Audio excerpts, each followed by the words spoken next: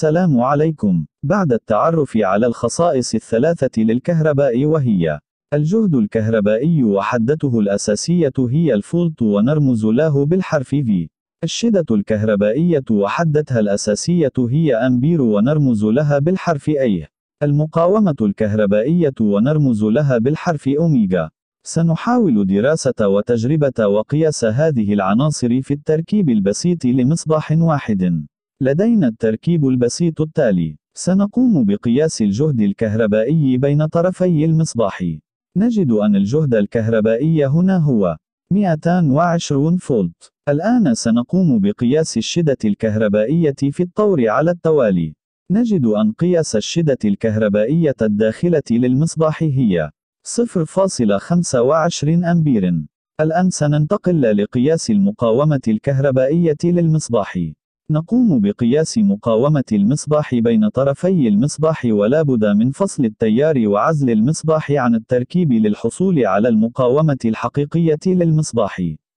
نجد أن قياس مقاومة المصباح هي 880 أوم. إذا في هذا التركيب الذي أمامنا نجد القياسات الثلاثة وهي الجهد الكهربائي يو يساوي 220 فولت. الشدة الكهربائية للمصباح أي تساوي 0.25 أمبير. المقاومة الكهربائية للمصباح الكهربائي R تساوي 880 أوم. لاحظ هنا العالم الألماني جورج سيمون أوم وجود علاقة رياضية بين القياسات الكهربائية وهي أننا لو قمنا بضرب قيمة شدة التيار الكهربائي للمصباح في قيمة المقاومة الكهربائية نحصل على قياس الجهد الكهربائي. U يساوي I ضرب R. هذه العلاقة بين الخصائص الثلاثة نعرفها بقانون أوم، أي أننا لو قمنا بضرب 0.25 في 880 سنجد نتيجة 220. وبالتالي يمكننا أن نقوم بحساب أي قياس ثالث بقيامنا بقياسين فقط. سنقوم بتكرار العملية مع مصباح أكثر إضاءة من المصباح الأول. وسنقوم بقياسين اثنين فقط وسنحسب القياس الثالث. لدينا هذا المصباح الأكثر إضاءة من المصباح الأول. الجهد الكهربائي طبعا هو 220 فولت. سنقوم بقياس الشدة الكهربائية لهذا المصباح. نجد قياس 0.75 أمبير. إذا يمكننا حساب قيمة مقاومة المصباح بدلاً من قياسها عبر قيامنا بالعملية التالية. 220 تساوي 0.75 مضروبة في المقاومة.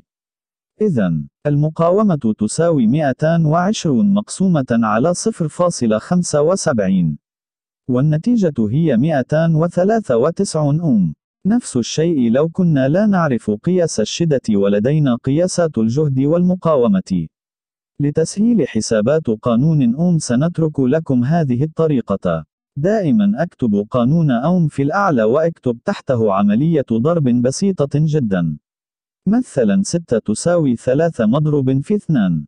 6 هي الجهد الكهربائي. ثلاثة هي الشدة الكهربائية. اثنان هي المقاومة. إذا أردنا الحصول على الشدة أو ثلاثة فهي ستة مقسومة على اثنان أو الجهد مقسوم على المقاومة.